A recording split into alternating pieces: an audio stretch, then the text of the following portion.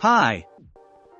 In this video, I will show you the performance of a Chinese spot welder circuit which you can easily buy online from eBay, Amazon or AliExpress. This circuit is quite famous for its good performance and low price. It provides good spot welding on 18650 lithium-ion cells and can be used to design a bank of such batteries. Here are the components that you will receive in the package form when you buy it from any online store. The spot welder circuit which is fabricated on a nice small sized PCB board.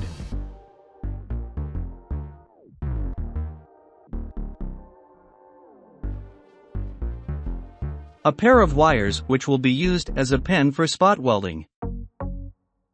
A pair of wires for connecting the circuit with any 12 volts battery. Heat shrink tubes for the spot welder pen.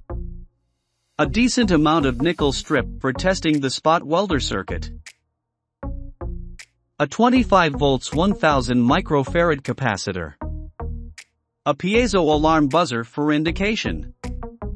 And some connectors, nuts, and bolts for the circuit. The circuit clearly indicates the location of the piezo buzzer, capacitor and input-output connections and with little knowledge of electronics you can easily prepare the circuit and it will be ready to use in no time. So, let's first place the capacitor on to the circuit board and solder it. You can place the capacitor either on the top or bottom side of the PCB but be careful to make the connections with right polarity.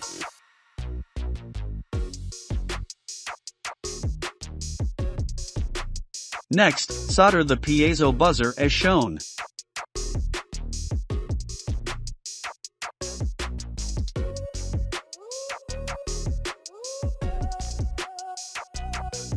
Use the heat shrink tubes to cover the spot welder pen to avoid shortening it during use.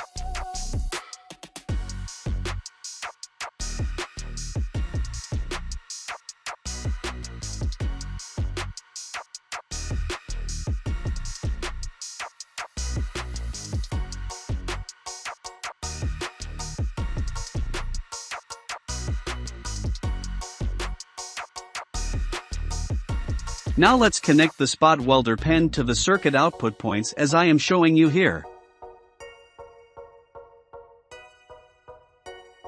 Make sure to tighten the joints properly to have good performance of the circuit.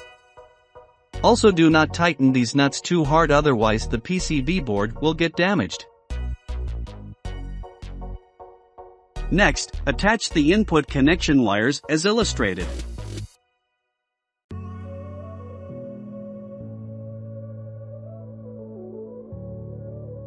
Again, make sure to tighten these joints enough to avoid poor performance of the circuit.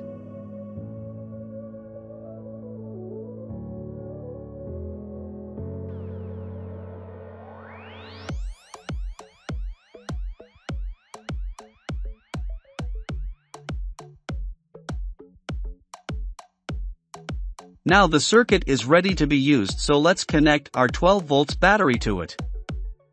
You must connect the circuit to the battery with correct polarity direction and it will sound a beep sound when started. The green LED indicates that the circuit is now turned on. You can calibrate this circuit by pressing and keep holding the push button for 2 seconds and it will sound 1 beep for lowest output current and 5 beeps for highest output current.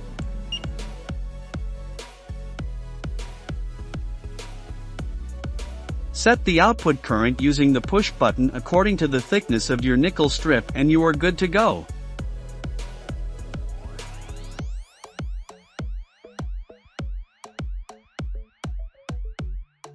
It is very important to have a fully charged 12 volts battery for optimum performance of this circuit.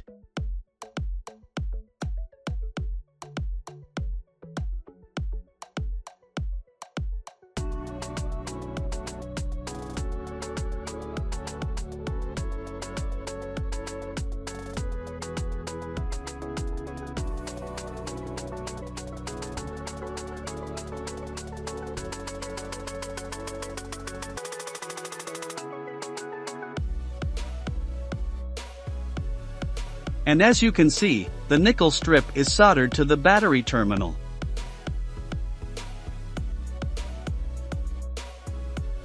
Nice, isn't it?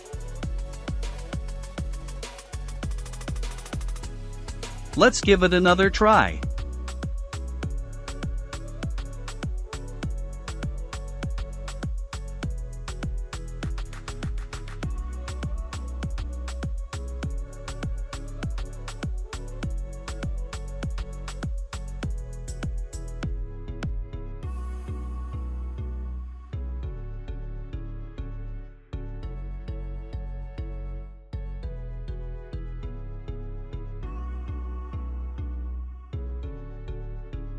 And as you can see, a perfect solder joint.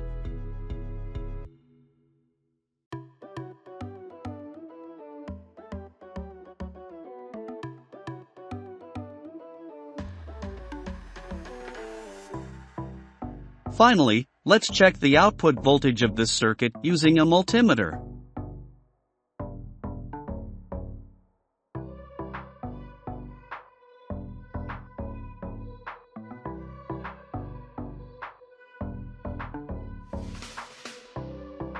The circuit provides 12.45 volts at the output terminals which is exactly the voltage we have provided at its input side and it will remain the same on all the five configurations of this circuit. Here the difference in the configurations is the amount of output current. 1 beep configuration means lowest current, while 5 beep configuration means highest current depending on these MOSFETs of this circuit.